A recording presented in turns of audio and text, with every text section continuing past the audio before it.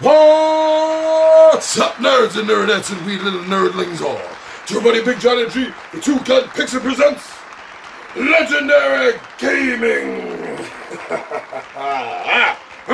Still hot on this. So, yeah, we got through the unboxing of Cthulhu Wars, and then we saw the setup of the game. Now, we're gonna see how this game is played. So I'll see you down at the table.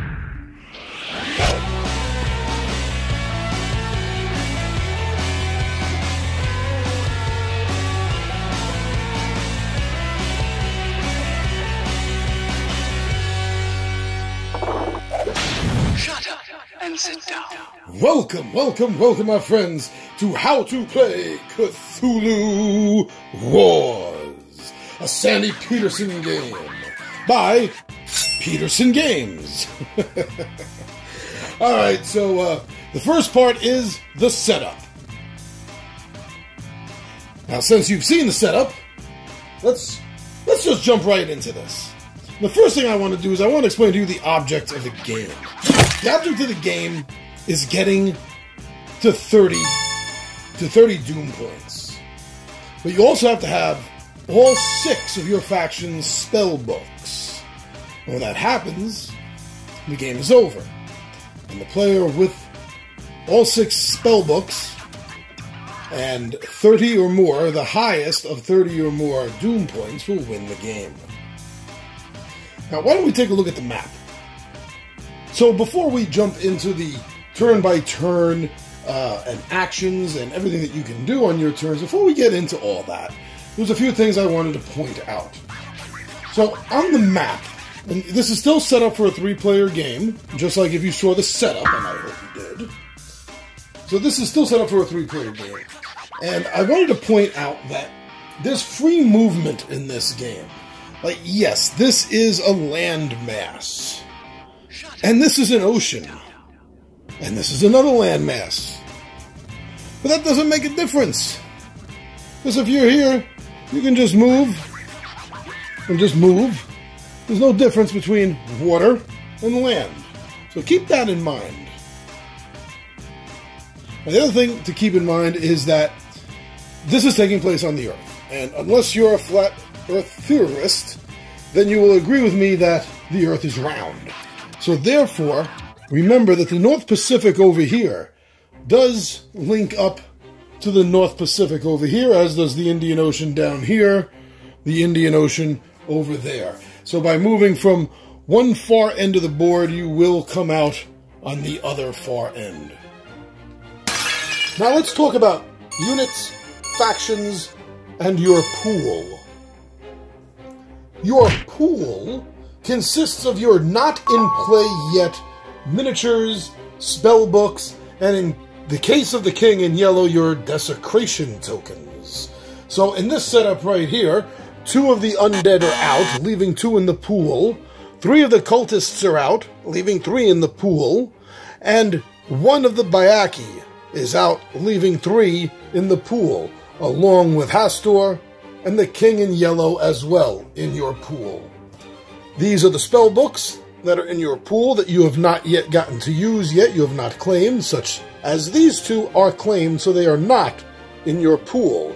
These other four would be considered in your pool. Your units would be the minis that you have out in the field. So there were three, there were three cultists that were out in the field. We have one, we have two, we have three. And I was wrong, there are six undead, so there was four out in the field. One, two, three, four. And one of the four Byakhees were out in the field.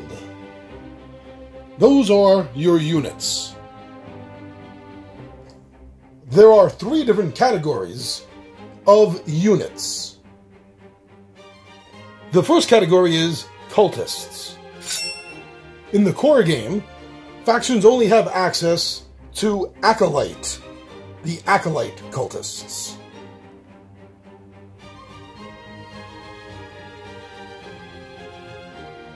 The next category of unit would be monsters. In the case of the Yellow King, the monsters are the undead,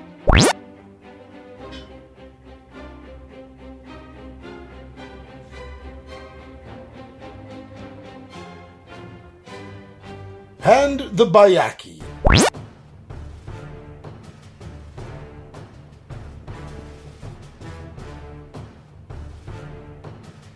And the third category that they have access to are the Great Old Ones.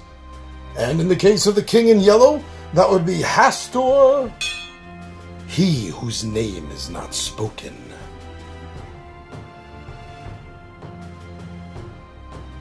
And the King in Yellow.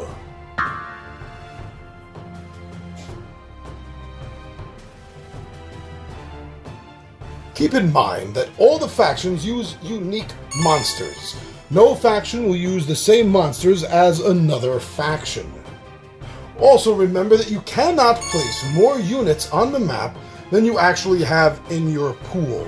That is your limit. A unit in your pool is not in play. And vice versa. That can be very important to remember in gameplay.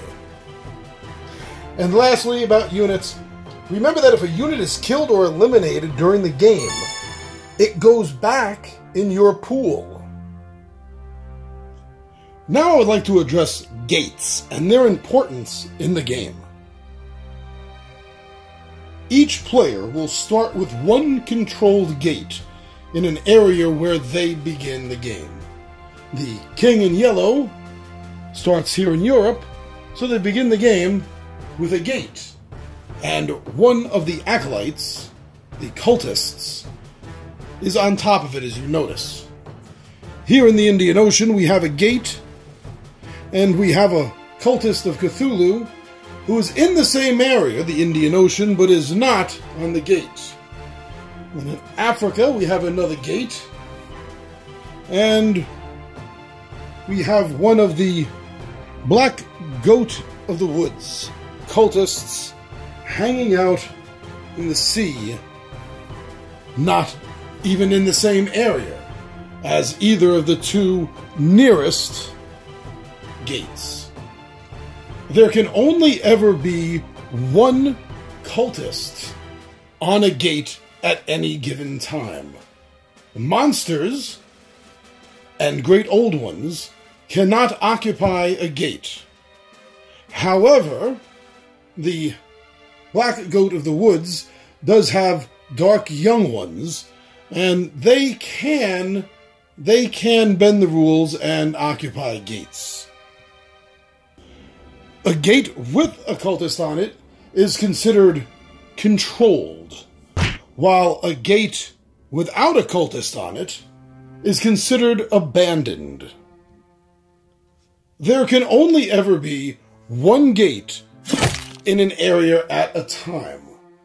Now keep in mind that these gates become very, very valuable because of the doom and the power that you can accumulate by controlling one. During the course of the game, you're going to realize that there are special abilities between factions, also between elder gods, the old ones, and also with the spell books that you're going to be able to acquire and that you will need to acquire during the course of the game. Spell books. There are the six slots on the right hand side of your faction card. And each faction has different requirements that you're going to need to fulfill in order to acquire the spell books. And when you do make one of these acquirements, such as as your action, select another player who gains three doom. You can then take any of the spells, doesn't matter which one, and fill that slot with it. This one up here, successfully desecrate an area marked with this glyph. So if on an area of the map, you performed a desecration and left that marker there, you would be able to take any one of these and put it here. Now, once it's here, it stays there. You can only do these actions once to acquire a spell book.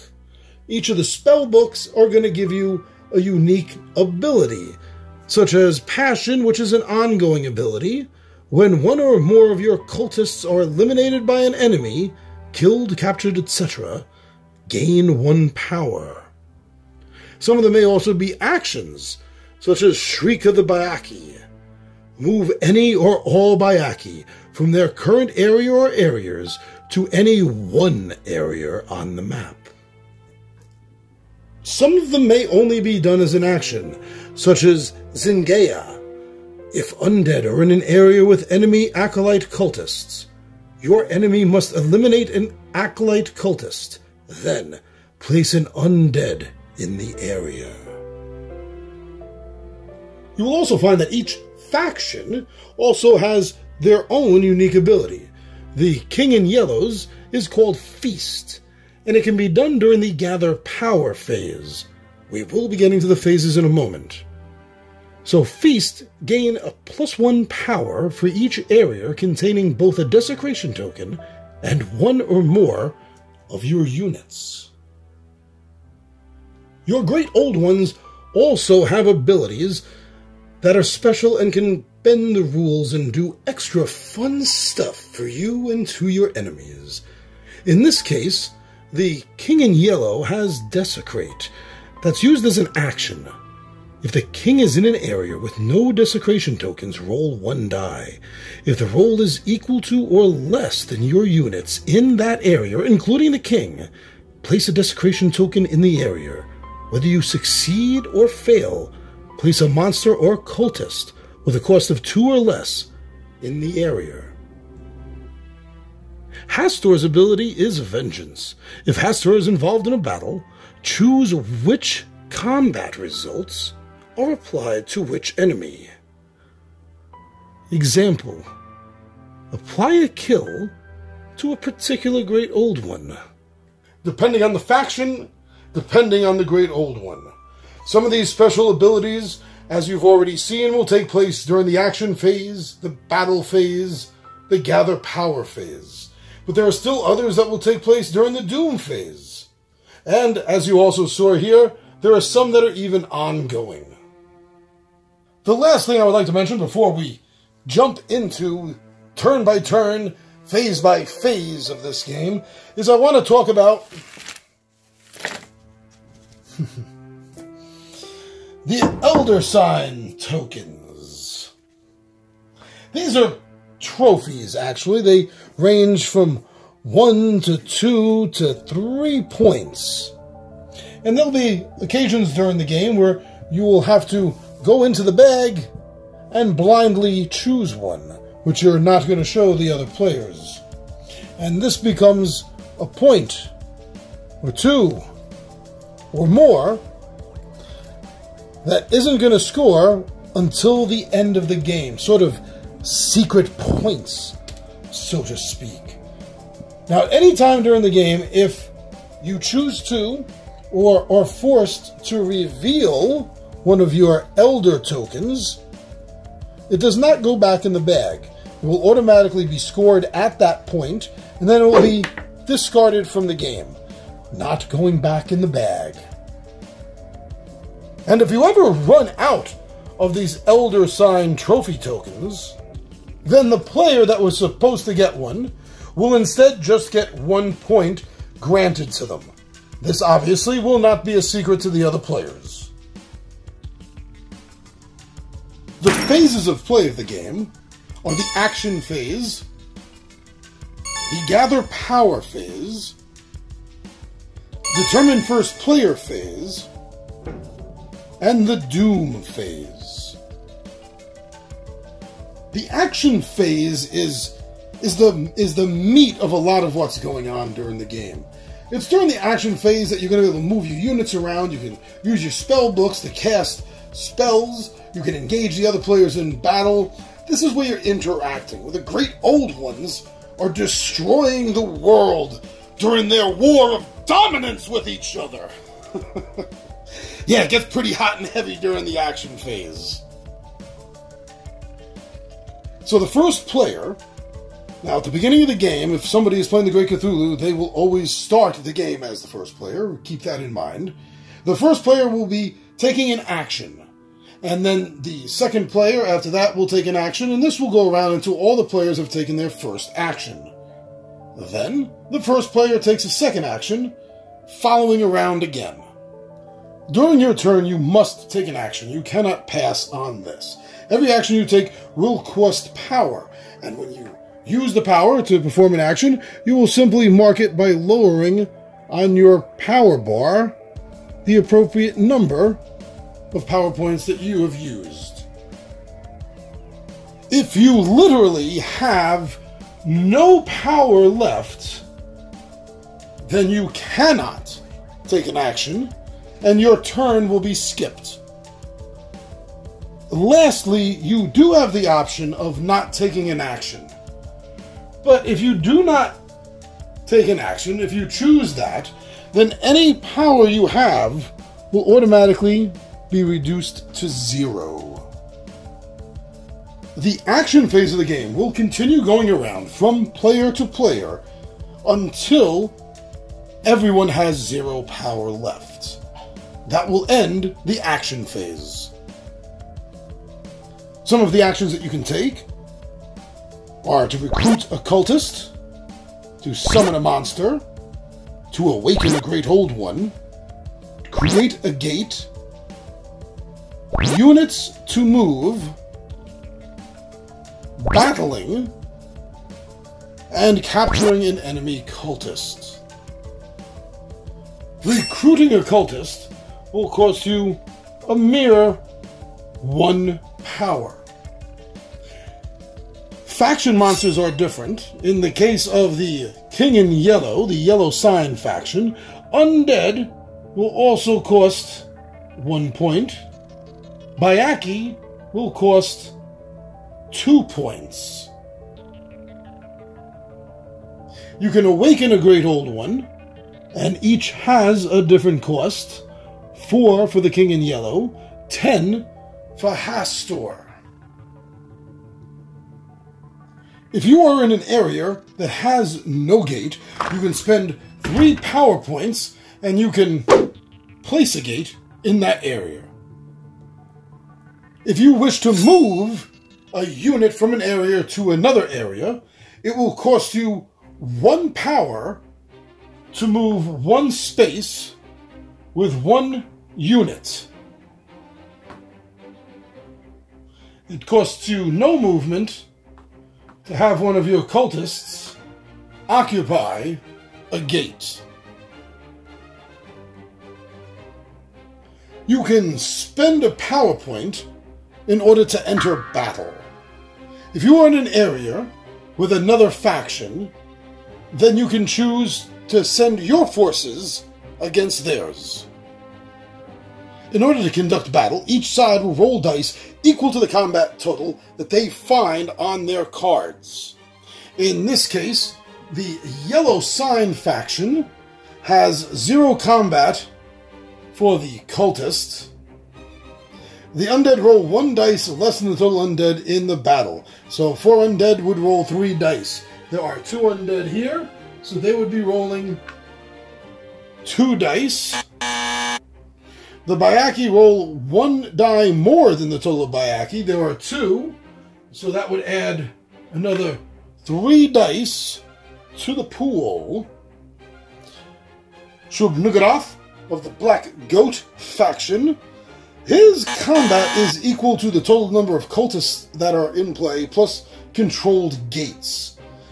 If he has the red sign spell, that's plus one Dark Young in play as well. So in this case, let's say that there are enough to give Shub a total of six dice. Both sides will roll their dice.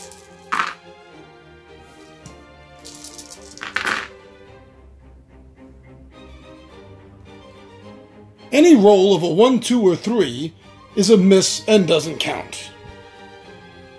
In this example, it would leave Shub-Niggurath with a 5 and a 6, while the yellow sign would have a 5 and a 4. Rolls of a 6, such as the Black Goat faction got, are kills. and they will remove a faction from the game.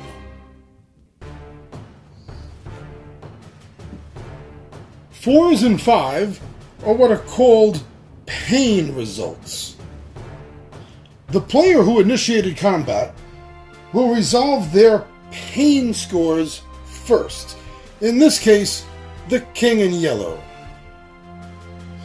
When an enemy faction unit is pained, they will retreat, and they will retreat to the nearest adjoining area that does not contain a faction member of the faction that just pained them. In this case, Shub-Niggurath would go to Europe. And one of the undead would go to Africa. And finally, as an action, you may opt to capture an enemy cultist. A captured cultist is considered eliminated. However, the captured cultist does not go back to the faction's pool. It will instead go to the faction's pool who captured it. At a later time, they can sacrifice the capture in order to get power. In order to capture an enemy cultist, you must have a monster or great old one in the same area as the cultist you wish to capture, and the cultist must have no protectors there. Cultists are lowest on the rung, and they are protected by monsters, and monsters and cultists are both protected by great old ones. be sure to remember that pecking order. It's important. You may only capture one enemy cultist per capture cultist action taken. Your monsters in Great Old One will never protect another faction's cultists from capture by a third party. Only a cultist's own faction's monsters and Great Old Ones can actually protect them. Taking control of or abandoning a gate costs zero. Zero power. It is an unlimited action. After each of the players has brought their power down to zero, and the action phase is over, you will move to the gather power phase. Now, during the gather power phase, you're going to do exactly that. You're going to be replenishing your power. Every player will earn one power point per cultist in play. They will also earn two power points per controlled gate. One power per abandoned gate now, this is a point that every player will get. If there are three abandoned gates on the board, then all players will gain three power for that.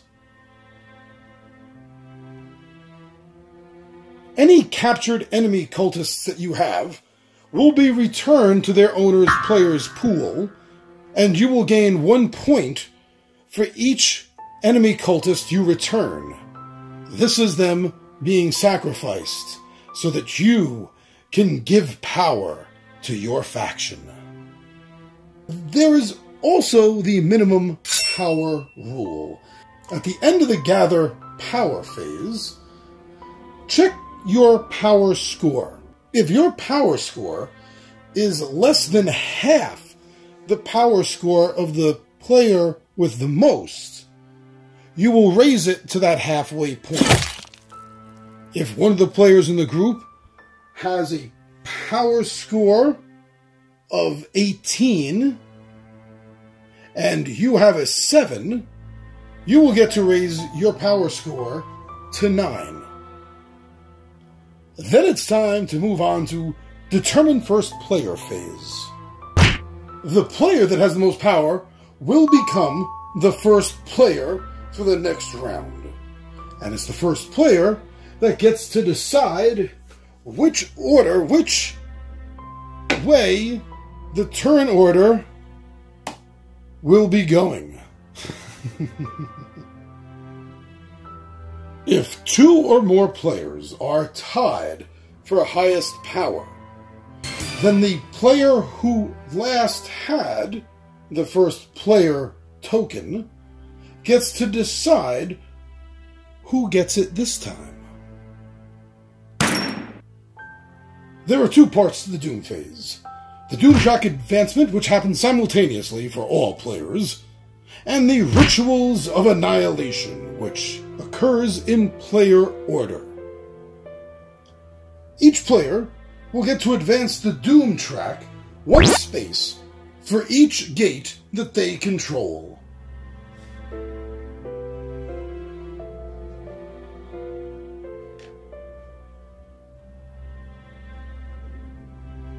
Then, starting with the first player, each player, in order, will decide whether they choose to perform a ritual of annihilation or not. Each player gets the chance to do one, and only one, ritual of annihilation.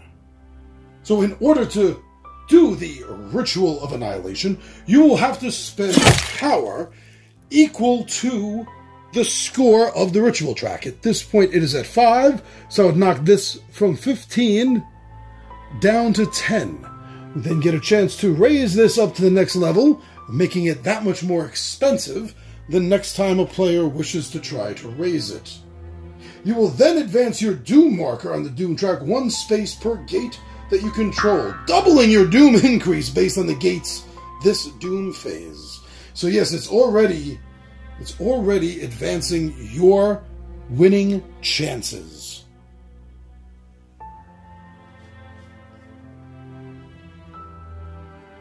And finally, you are going to get a chance to gain one Elder Sign trophy token that you will not show to the other players.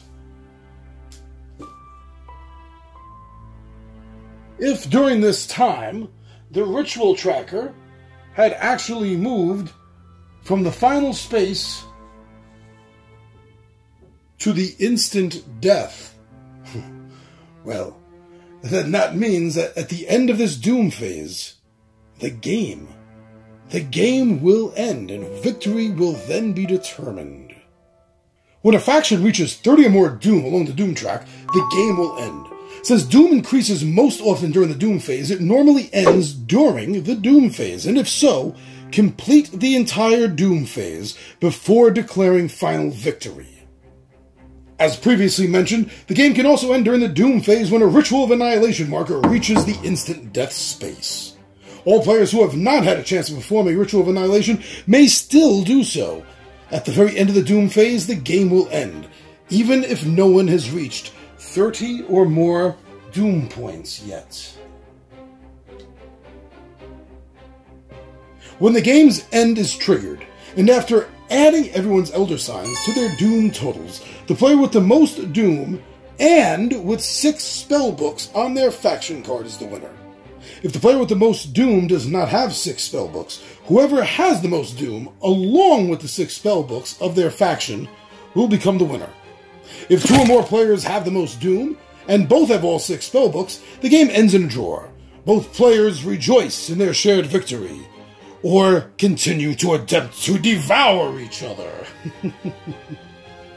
if the game ends and no player has all six spell books, then humanity wins. All great old ones, monsters, and evil cultists are sucked back through the collapsing gates. Yay! But all players do lose the game together. And there we go, my friends. In under 30 minutes, Cthulhu Wars How to Play This Game. So that's it in a nutshell. Yes, 30 minutes, and that is the nutshell. Uh, in the rulebook, they have great tips per faction, tips on how to both play a faction, as well as tips when you are facing certain factions. And those will become helpful in the game, especially for first time players. You're definitely going to want to check those pages out. Well, thank you, everyone. Thank you for going over to Facebook, to Instagram, and to Twitter. Thank you so much for going there and seeing what Two Gun Pixie has going on over in those arenas. I also want to give a great big shout out to all of you, all of you that have been heading over to the official Two Gun Pixie Zazzle store. Thank you so much for checking out all the nerdy merch that we have over there. And of course, as always, thank you all for coming right here, right here to YouTube and supporting us. Thank you for subscribing to our channel. Thank you for liking our videos, for commenting on our videos, and thank you so much for continuing to share our videos. I'm your buddy Big Johnny G, the Two Gun Pixie presents Legendary Gaming, and my friends, I am out of here.